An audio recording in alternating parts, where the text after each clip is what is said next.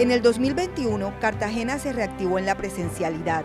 Volvimos a compartir mirándonos a los ojos y disfrutando de las actividades que tanto nos gustan. Hoy te contaremos algunas de las acciones que el gobierno Salvemos Juntos a Cartagena emprendió para hacer realidad espacios de aprendizaje y desarrollo en cultura y deportes.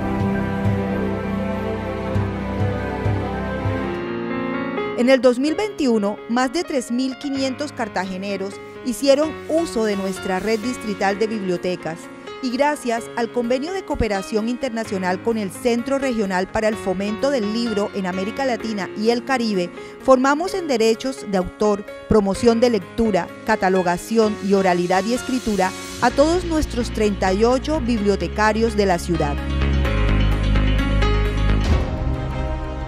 Creamos el plan de mejoramiento de la infraestructura cultural con el que logramos 80 visitas técnicas realizadas por los ingenieros y arquitectos para evaluar las obras de mantenimiento en escenarios culturales, 18 proyectos de mantenimiento de infraestructura cultural, 8 levantamientos de planos arquitectónicos de la red de bibliotecas, un mejoramiento integral de la biblioteca y centro cultural Las Pilanderas por valor de 430 millones de pesos.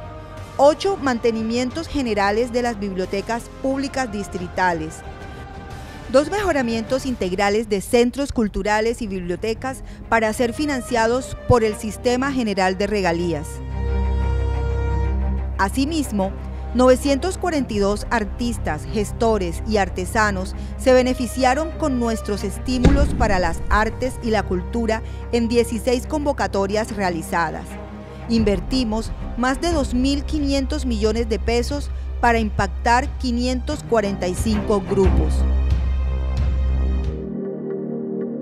Para salvaguardar el patrimonio inmaterial de la ciudad, trabajamos así en el PES Ángeles Somos realizamos 22 mesas de trabajo en las que participaron 587 personas. Juntos elaboramos el 100% del diagnóstico de riesgos y propuesta de salvaguardia del PES. En el PES, Portal de los Dulces, logramos 100% del documento metodológico, mapeo de actores y plan de acción realizado.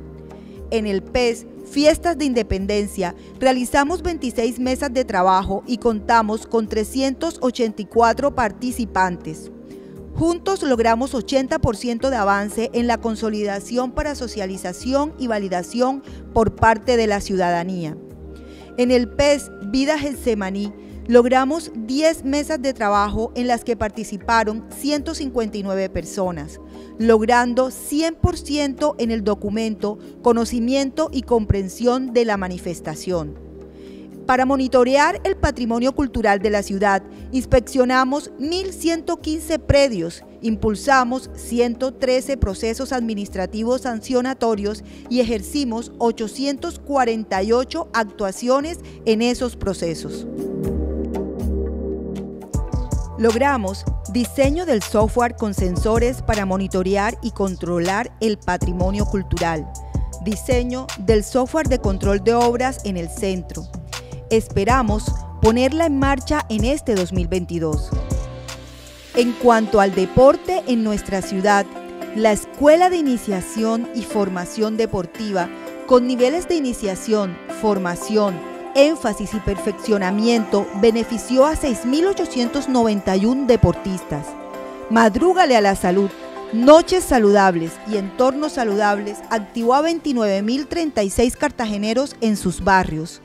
Entregamos 261 estímulos a deportistas de alto rendimiento, futuros ídolos del deporte y organismos deportivos.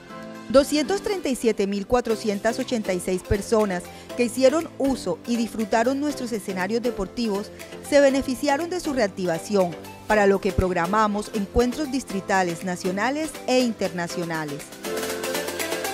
Asimismo, La administración Salvemos Juntos a Cartagena está complacida de compartir que cumplimos con el 62.9% acumulado del plan de saneamiento fiscal parcial del IDER y que al cierre de 2021 han sido aprobados 6.430 millones destinados al pago de contratistas, clubes, ligas y contratos de bienes y servicios que llevan esperando desde el 2017, 2018 y 2019.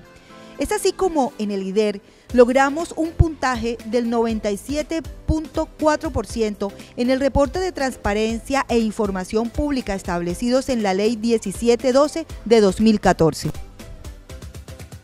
Recuerda que puedes consultar toda la información de cómo va la ejecución de nuestro plan de desarrollo en rendiciondecuentas.cartagena.gov.co. Allí encontrarás el informe técnico, la socialización en los grupos de valor, el histórico de rendiciones de cuentas y mucho más. Estamos salvando juntos a Cartagena.